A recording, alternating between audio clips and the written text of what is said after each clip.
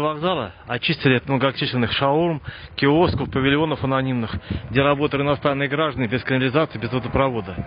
Практически все киоски убраны, оставшиеся гребут сверхприбыль, там постоянно очередь, которые остались на территории автовокзала. Территория вдоль Тимошков полностью очищена. От грязных киосков остались только фундаменты. Но это, возможно, временная акция. Через месяц-два все вернется на круги своя, как многие годы было. Видны грязные остатки от фундаментов, павильонов, киосков. Непонятно происхождение. Кому шли доходы миллионные, непонятно. За рубеж уходили, кому непонятно. Осталось пару киосков анонимных на самом автовокзале. Куда теперь сюда очередь. Остальные убранные. Тимашки тоже очистили от многочисленных непонятных общепитовских точек. Остались грязные поддоны, заваленные холодильники, мусор, остатки.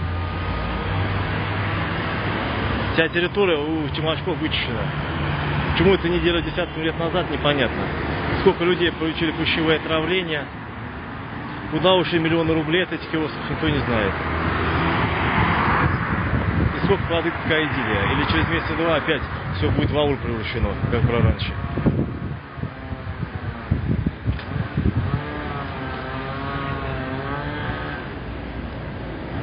У самого рынка какие-то скопления каких-то киосков есть. Не, стоят он, все какие-то магазины, то ли, ну тоже воды канализации нет, шаурма он дымит.